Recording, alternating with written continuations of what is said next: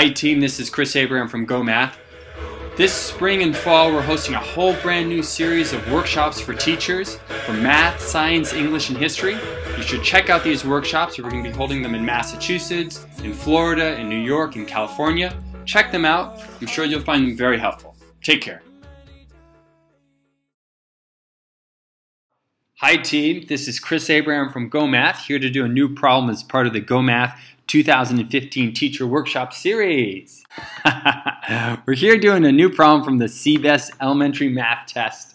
It's a great problem because it's going to review some core uh, strategies on solving algebra word problems.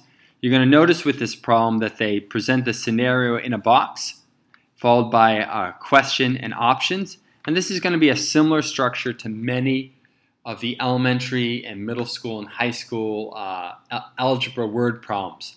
They'll give you that real life scenario and they'll ask you a question on the question. So a double question here, a question within a question type of problem. So I'm going to start reading it over.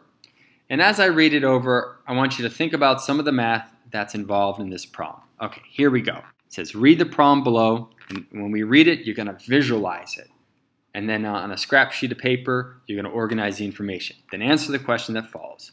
Wei Jin and Sue are going to drive across country. To reach their destination, they plan to drive about 400 miles each day for five days. If gasoline costs an average of $2 per gallon, approximately how much money should they budget for gasoline on this trip? Then it asks us the question about the question. Which single piece of information is necessary to solve the problem above?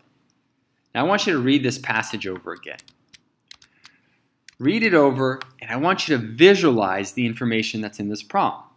Now, what does that mean, visualize? Well, first, I just want to organize the information. So what I'm going to do to help me visualize it, organize it, I'll draw a little picture here. And let's say they're starting at point A. And they're going to drive a great distance of, for five days. They're going to go to point B on this road trip. All right, I don't know how long this distance is, but I know they're going from A to B. I do know it does tell me that they're going to go 400 miles per day. So I could put down uh, 400 miles per day, and they're going to be doing that for about five days. So that could be like 400 miles per day times five days and that could get me the distance, 400 times 5. 4 times 5 is 20, so 400 times 5 is 2,000 miles. And guess what? That's our total distance from point A to point B. I could have thought of this as our rate, this is the distance per day, times time, the number of days we travel, is equal to the total distance. And this is our this is our distance formula. Rate times time equals distance. All right, so now I have a model drawing that organizes the information that's in um, the first three sentences. Then I get to this last piece. It says if gasoline costs two dollars per gallon, approximately how much should they budget um, for this uh, trip here? We know that it, they're going to go 2,000 miles, and we haven't, and we we know that it's going to cost them two dollars per gallon. So how much is it gonna how many how much is gonna cost altogether? I mean, how much are they gonna need for their budget? And then it says which piece of information is is missing here that's necessary to solve the problem.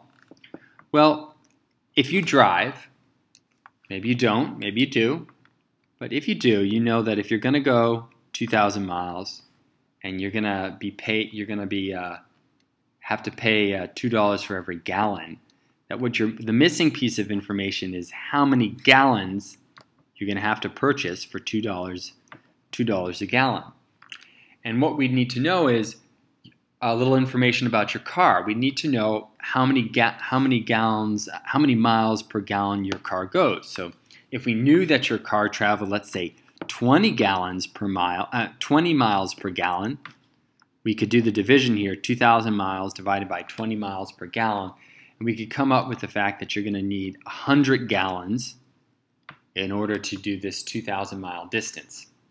So that would be 100 gallons times $2, per gallon, and that would get us, you know, our budget here end up being what? $200, which is a great deal for 2,000 miles. But Thing is, they don't give us this piece of information. And, and when we look at our answer choices here, we see that B sticks out. The number of miles a gallon travels per gallon of gasoline. So this one right here, you might have been able to just identify that this was the missing piece just from your background in driving, if you drive. If you don't have a great background in driving, or, or let's say you weren't so sure, setting up this model drawing just helps identify the pieces of information that you do know. For example, on the from the scenario, you could pr pretty much determine the total distance of, of their trip. You know, 400, 400 times five, 400 miles per day times five days is going to get you the total distance of the trip. So that one, you don't, that's already answered. It's not a missing piece of information. Um, the number of uh, some of these you could eliminate because they're, they're not they're totally not necessary. Like how many miles Jin drives, uh, drives, or uh, the number of times they stop for gasoline. Not not really essentials. And this one right here, this is where I think you know some people might pick this. Uh, the number of miles the car travels per hour. It's tempting, but it's not the answer. It's not necessary. What we're missing here is the number of miles the car travels per uh, gallon of gasoline. Okay, team, this is Chris Abraham. Have a great day. Take care.